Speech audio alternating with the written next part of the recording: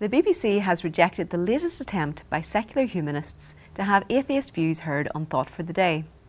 In a letter to Director General Tony Hall, Humanists UK said excluding non religious voices from the religious slot was unfair. But the BBC said the format serves a distinct purpose and does not need changing. The Christian Institute's Kieran Kelly responded to the news.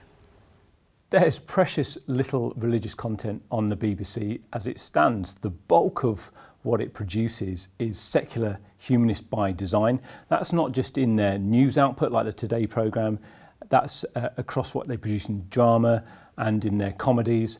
So if anyone is uh, being marginalised by the BBC, it's Christians and Christianity, it's certainly not humanists.